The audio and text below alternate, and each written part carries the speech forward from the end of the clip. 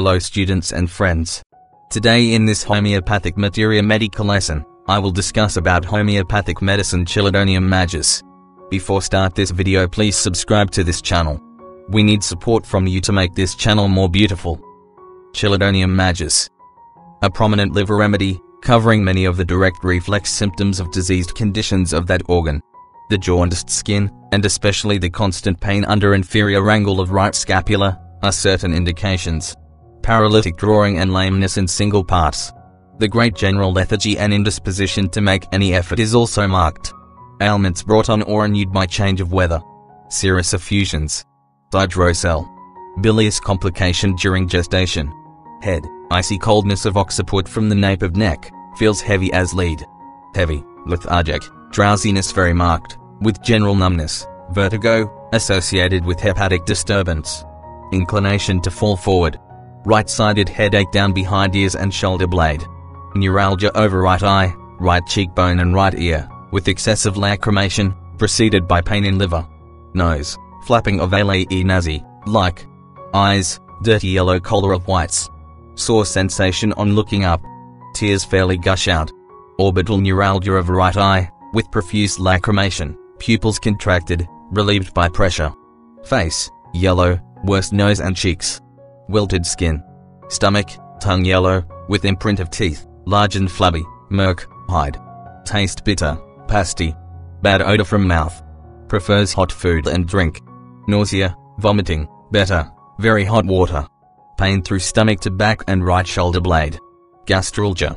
Eating relieves temporarily, especially when accompanied with hepatic symptoms.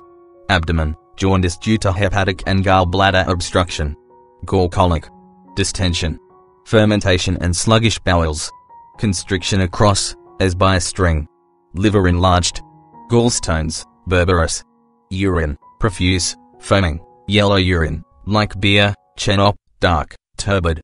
Stool, constipation, stools hard, round balls, like sheep stung, bright yellow, pasty, clay-colored, stools float in water, alternation of diarrhea and constipation. Burning and itching of anus, Breton, self. Female, menses too late and too profuse. Respiratory, very quick and short inspirations, pain on deep inspiration. Dyspnea. Short, exhausting cough, sensation of dust not relieved by cough. Whooping cough, spasmodic cough, loose, rattling, expectoration difficult. Pain in right side of chest and shoulder, with embarrassed respiration. Small lumps of mucus fly from mouth when coughing. Hoarse in afternoon. Constriction of chest. Back, pain in nape. Stiff neck, head drawn to left. Fixed pain under inner and lower angle of right scapula. Pain at lower angle of left scapula. Extremities, pain in arms, shoulders, hands, tips of fingers. Icy coldness of tips of fingers, wrist sore, tearing in metacarpal bones. Whole flesh sore to touch. Rheumatic pain in hips and thighs, intolerable pains in heels, as if pinched by too narrow a shoe, worse, right. Feels paralyzed. Paces of the lower limbs with rigidity of muscles. Skin, dry heat of skin, itches, yellow. Painful red pimples and pustules. Old, spreading, offensive ulcers. Wilted skin. Sallow, cold, clammy. Modalities, worse, right side, motion, touch, change of weather, very early in morning. Better, after dinner, from pressure. Chelidonium is a remedy more suitable for acute diseases, though it cures certain chronic conditions. It is not a very deep-acting remedy. It is about like bryonia in its general plane, length and depth of action. It has been used principally in gastric and intestinal catarrhs, in acute and semi-chronic liver troubles, and in right-sided pneumonia. The skin is likely to be sallow, and gradually increases to a marked jaundice in connection with these complaints. Semi-chronic gastritis, with jaundice. Gastroduodenal catarrh. Congestion and soreness in the liver, with jaundice. Right-sided pneumonia, complicated with liver troubles, or jaundice. This remedy seems to act throughout the system, but almost always along with it the liver is involved, and it is suitable for what the old people and the doctors call biliousness.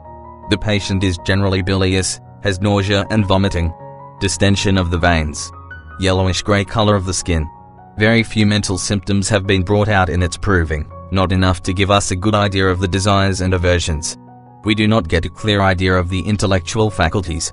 It needs further proving, yet in many regions it has had superabundance of proving. Sadness and anxiety. Brooding over some sort of trouble generally runs through the mental state. Anxiety, allowing no rest, keeping the patient uneasy day and night. Sadness, as if she had committed a crime, as if some dreadful thing was going to happen. So sad that she thinks she must die. Weeping despondency. Distaste for mental exertion and conversation. If you examine those medicines that act primarily upon the liver, that slow down the action of the liver, you will find the word melancholia. With heart troubles, great excitement. With liver troubles, slowing down of the mental state, inability of the mind to work, sluggishness of the mind, inability to think, inability to meditate, slow pulse, sluggishness of the whole economy. The sensorium is very commonly disturbed, and the patient is dizzy. Things go round in a circle. Dizziness comes, and it does not let up until nausea, and sometimes vomiting, follows. So much turning in the head that he vomits. Confusion of mind. Loss of consciousness and fainting. These are also common features with liver troubles. The mind symptoms are present more or less with the following liver symptoms. There are pains of a dull aching character, soreness, bruised pains, tenderness of the liver to touch, aching pains, that seemed to involve the whole right lobe of the liver, creating a sensation of fullness. Pressure upwards, with difficulty of breathing. Pressure downwards, sympathetic with the stomach, with the nausea and vomiting. And then more intense pain felt under the right scapula. Dull aching pains under the right scapula, sharp, shooting pains under the right scapula, these complicate themselves again with pneumonia, with pleurisy.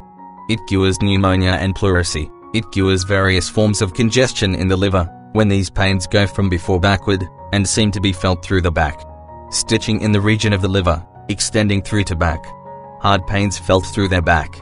Some patients will describe these pains as shooting pains, some as tearing pains, and others as sharp pains, going through the right hypochondrium or through the right lobe of the liver to the back. Pains from the region of the liver, shooting towards the back and shoulders. Spasmodic pain in the region of the liver. Pressing pain in the region of the liver. In congestion or inflammation, fullness and enlargement, semi-chronic cases, or even acute, this medicine proves suitable for such conditions. The right hypochondrium is tense and painful to pressure. This remedy has cured gallstone colic. Practitioners, who know how to direct a remedy, relieve gallstone colic in a few minutes. We have remedies that act on the circular fibers of these little tubes, causing them to relax and allow the stone to pass painlessly. In a perfect state of health, of course, there are no stones in the bile that is held in the gallbladder, but this little cystic duct opens its mouth and a little gallstone engages in it, and it creates an irritation by scratching along the mucous membrane of that little tube. When this pain is a shooting, stabbing, tearing, lancinating pain, extending through to the back, chelidonium will cure it. The instant it relieves the patient says, why, what a relief, that pain has gone. The remedy has relieved that spasm, the little duct opens up and the stone passes out through the ductus communis choledochus. Every remedy that is indicated by the symptoms will cure gallstone colic.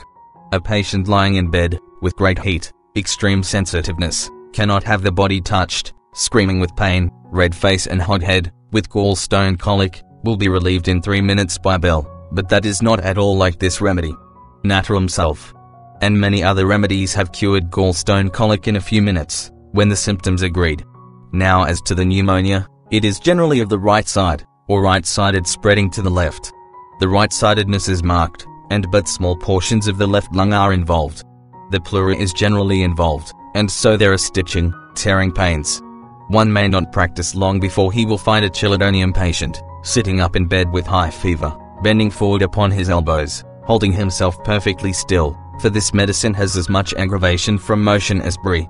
All of the pains are extremely aggravated from motion.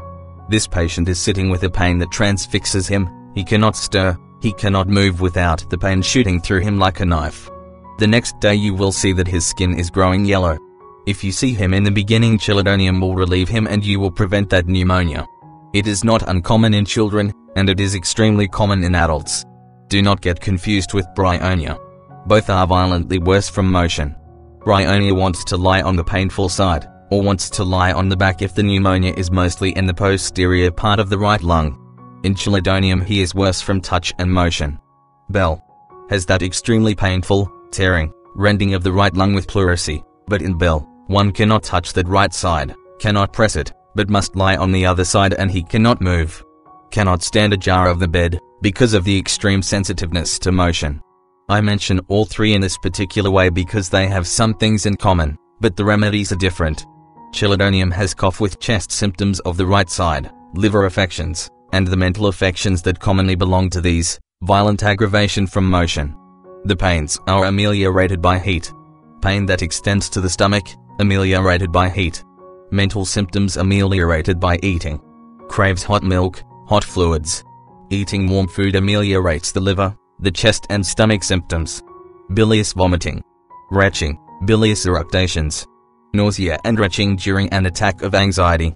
These are all commonly present during the complaints described. The pains, when they become severe, seem to strike the stomach and cause vomiting. Ameliorated by something hot. A feeling of anguish in the pit of the stomach. Persistent pain in the stomach, aggravated by motion and ameliorated by eructations. Constriction and sensitiveness in the pit of the stomach. These are all aggravated by touch and ameliorated by eating. Constant aching pain in the stomach, ameliorated by food. Constrictive, pinching pain in the stomach better from drawing up the limbs and lying on the left side, ameliorated by eating. It has many eye symptoms. Stitching pains. Opacity of the cornea. Inflammations. Bruised pain in the eyes. Right supraorbital neuralgia. In many instances it prefers the right side. In the face the jaundice is the most marked thing that is expressed, and, then, we have the dirty grey complexion. Pale, dirty yellow face.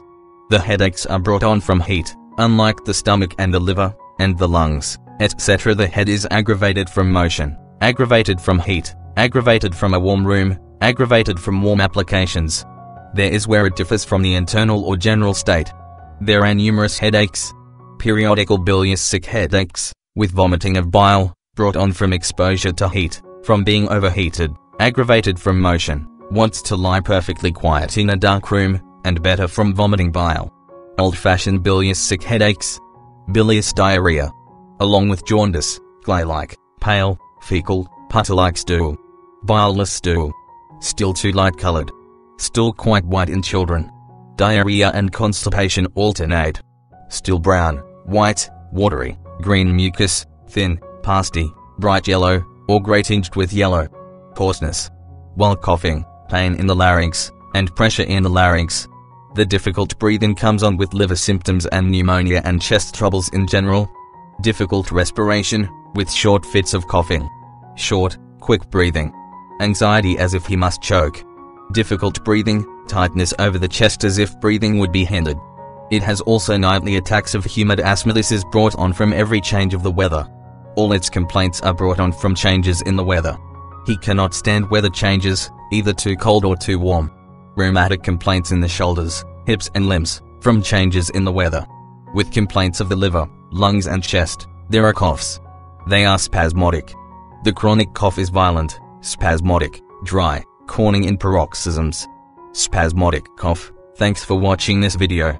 For more updates please subscribe this channel and press the bell icon to learn homeopathy course online thank you.